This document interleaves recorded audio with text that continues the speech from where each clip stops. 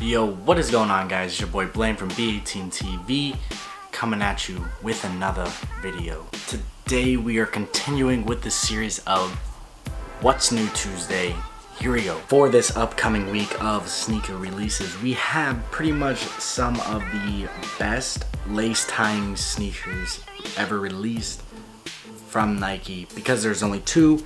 And of course I'm talking about the the one, the Hyper Adapt that they are coming out with on the 12th of January. That is right. In two days, what you have to do is go on to the uh, the Nike sneakers app or online and enter into that drawing.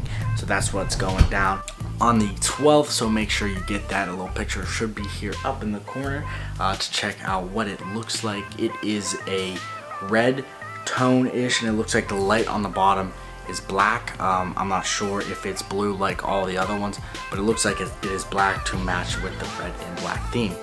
Now, later that week on the 15th, this is the big day everybody should be marking down on their calendars. BHM is coming back with the LeBron, the KD, and the Jordan colorway in them. I think the Jordans are coming out in the Jordan 32 BHMs. So make sure you look for that. And the Kyrie 4s are coming out in the BHM colorway as well.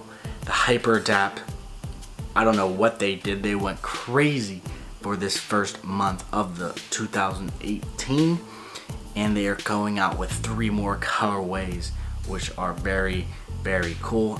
So as everybody's aware Supreme is done for the season. Um, they won't be coming out with anything until the spring and summer, so this segment will later on in the spring uh, season. So what I would say is the biggest price mover of this week, CNY Ultra Boost 4.0. i tell you why, because it started off at $400 and is now down to around 200 to 230 which is an amazing price for CNYs. What's hot and not? Well, what's hot for me is Yeezys. Uh, now, I, I, I want to say that with confidence that the hype has not died with everybody out there. Um, I know they're they're going to be releasing new sort of styles of the Yeezys instead of just always that one strip and that uh, weird design on it like a zebra.